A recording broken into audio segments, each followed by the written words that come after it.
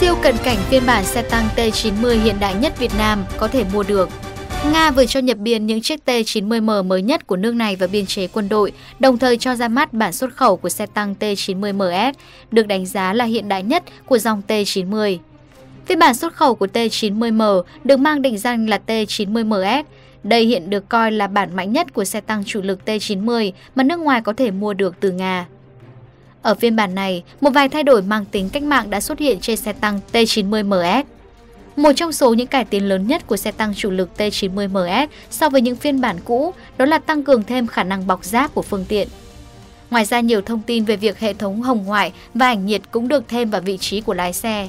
Ở một vài phiên bản trước đó, hệ thống này thường không xuất hiện ở ghế lái mà chỉ có trường xa và xạ thủ được trang bị. Cận cảnh phía trước đầu xe của xe tăng T90MS cùng với cửa nóc dành cho lái xe. Điểm nổi bật nhất của T90MS so với phiên bản trước đó là hệ thống đèn gây nhiễu đã được bỏ đi, mặc dù hệ thống phòng vệ Sora vẫn tiếp tục được sử dụng.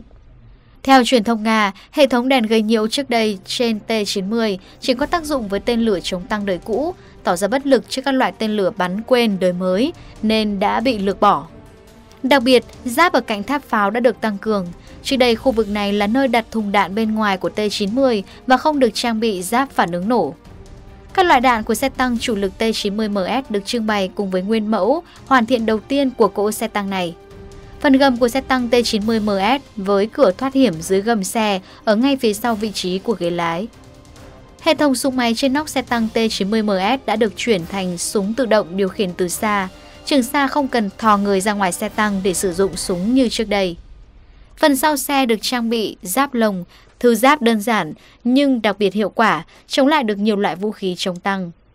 Súng máy đồng trục được gắn cùng với pháo chính của xe, tháp pháo chính quay tới đây, súng máy đồng trục sẽ chỉ về hướng đó. Cupola, một trong những thành phần đơn giản, nhưng xuất hiện trên gần như mọi xe tăng suốt từ sau chiến tranh thế giới thứ hai tới nay.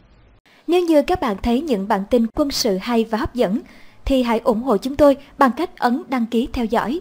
Việc đăng ký trên hoàn toàn miễn phí. Video này hãy like và chia sẻ cho bạn bè của mình. Hãy cho chúng tôi biết suy nghĩ của bạn bằng cách comment ở bên dưới. Xin chân thành cảm ơn quý vị và các bạn đã ủng hộ. Xin chào và hẹn gặp lại.